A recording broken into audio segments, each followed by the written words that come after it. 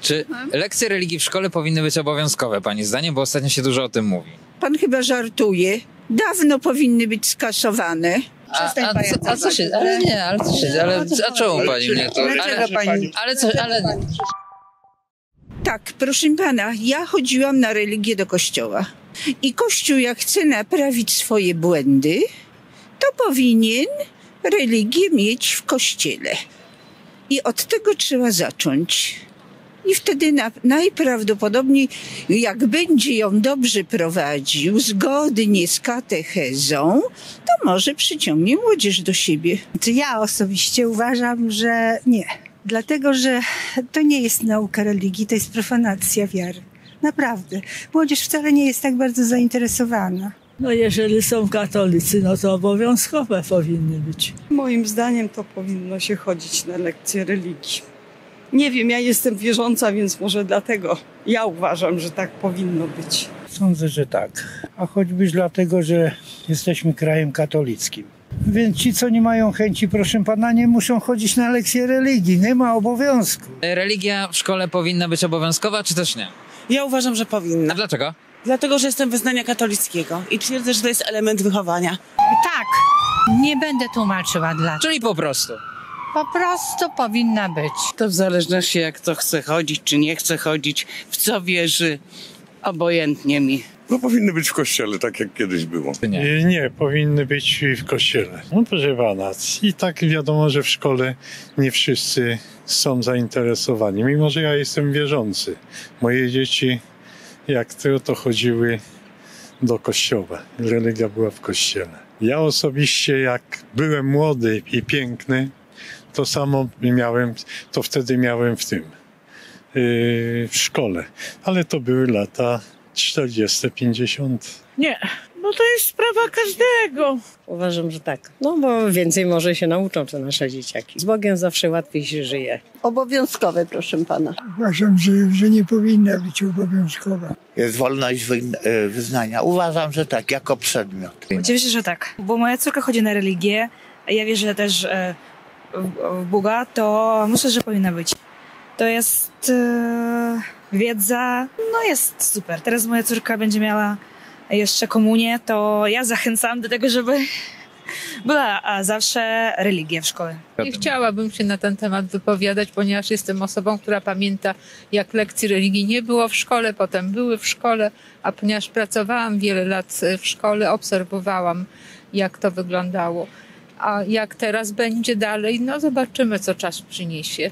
Muszę to powiedzieć. Jest to czysto rozgrywka polityczna. Za moich czasów były nie, nie, nie w szkole, tylko przy kościele, sal, salkach. Uważam, że to religia powinna się odbywać w kościele i nie polityka, jak to księdza, księża teraz robią w tej chwili. Nie wszyscy oczywiście, no ale to tak niestety bywa.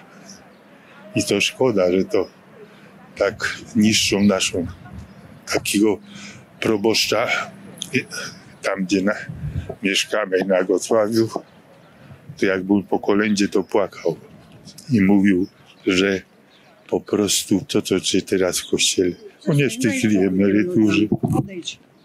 A, a, co, a co się, ale nie, ale co się, ale a czemu pani mnie to, Dlaczego pani? ale co, ale, przeszkadza? ale nie przeszkadza, ale, ale proszę pani, Niech pan ale, ale, ale proszę, ale proszę pani, no.